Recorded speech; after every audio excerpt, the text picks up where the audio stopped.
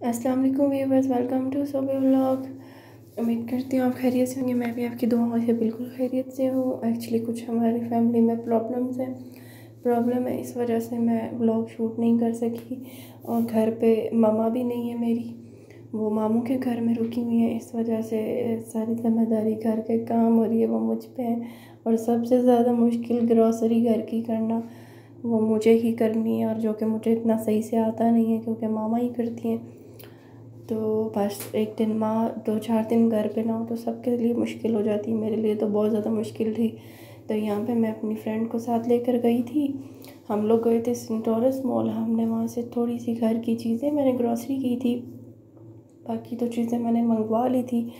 तो हम लोग वो उन, उसने मेरे लिए बहुत टाइम निकाला, वो मेरे साथ आई तो हमने सोचा पहले हम ऊपर से कुछ खाएँगे तो फिर करेंगे हम ग्रॉसरी तो यहाँ पे हम खा रहे थे के तो हमने कुछ लाइट से ही खाना था, इतना कुछ नहीं खाना था। तो हमने यहाँ पे जस्ट फ्राइड चिकन और यही खा लिया था चिप्स। और फिर हम लोग नीचे जा रहे थे, यहाँ पे मुझे एक शर्ट भी चेंज करनी थी। तो और वर्दा ब्रांड यहाँ पे क्लोज था तो शर्ट भी नहीं मेरी चेंज हो सकी।